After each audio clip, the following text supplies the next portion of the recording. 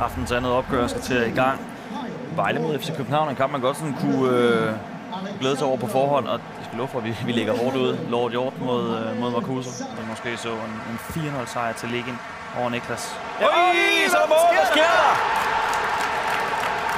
Det ser underligt ud, han rammer slet ikke bolden. Courtois tror, det er ind i mål på Lord Hjort. Ja, ja, det... Han var lige sådan ind i hovedet skulderen på Ferdinand, der ikke kan nå at reagere. Ja, men helt i første omgang, det må aldrig blive farligt. Det skal, den skal Nej. bare bokses væk. Det er lidt klumpspil her. Meget. Så den kan udnyttes. Øj, får han med? Åh, stærkt skill. Holder presset tilbage. Ja. Øj, men nej, nej, nej. mål! Ja, så har vi to to random mål selvmål, her. ja. Jeg tror ikke, vi har haft det eneste selvmål helt indtil videre. Nu har vi fået to i samme kamp, og det her det var en af de mere mærkværdige. Ja, den skal vi også lige se igen. Det var målmanden slet ikke klar på, da vi kom en aflevering tilbage på den måde. Det er faktisk en god afslutning. Neymar, og den har vi set flere gange, den her. Ja, en god. Der var den! Øj, 2-1!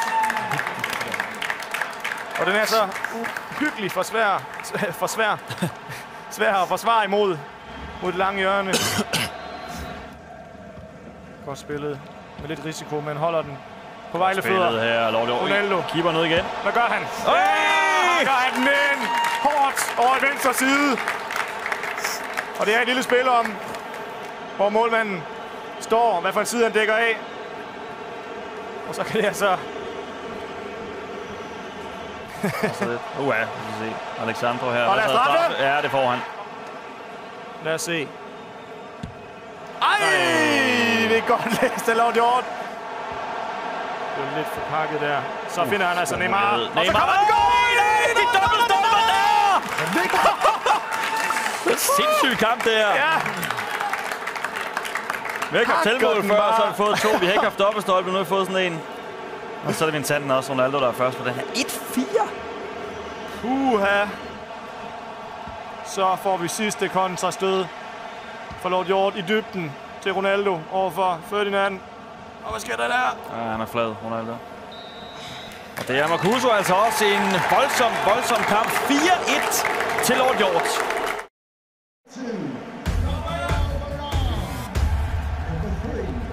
En 4-1-føring til øh, Kravlund. Den tror jeg ikke selv, han havde øh, regnet med.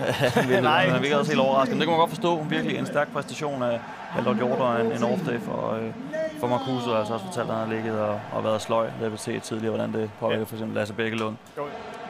Så at... Okay, kom ind til afslutningen her. Ja, Se, der der er så... Ej, hvor er sindssyg redning. Courtois. Det kom fri på venstre kanten. Neymar på Ferdinand. Ferdinand bakker lidt. Ja, mål lige før pausen, det ville jo være sublim. Ja, det Godt der. spillet! Der Nej! Ej, hvor er det smukt. Er et supermål, det der. Ja, Og så bare lige sat indersiden på, og så triller den langs højre side af målet, og den er inde 1-0. Og det åbner en smule op, det her.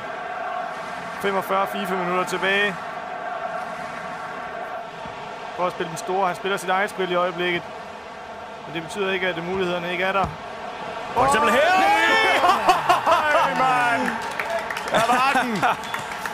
Ej, et vanvittigt mål. Jeg troede lige kort øjeblik, at den, den hoppede ud igen. Kongemål. Ja, det er, det er en beskrivelse, der det er. den første gang, og lad os se målteknologien. Ja, en slags mål. Den kan sidde her masser af. Det, det er vanskeligt at gøre noget ved det. Det var bare sindssygt sparket ind.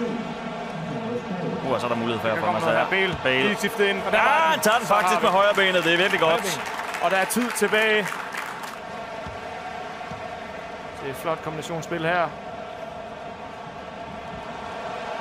Altså, Og der kommer ja, der bliver det altså lukket. Ja, og vi har slet ikke snakket om den her patch, der er udkommet i dag, hvor at, øh, den her type afslutninger skulle være nøft, men øh, ikke for Jakob Kravlund, der bare sætter dem ind. Det er flot. Du mister hele dagen derinde. Så, Og så får vi chance, og så er det her ball lukket. Det er det lige præcis. Det er voldsomt flot præstation af Vejle, som bliver det første hold, der besejrer FC København.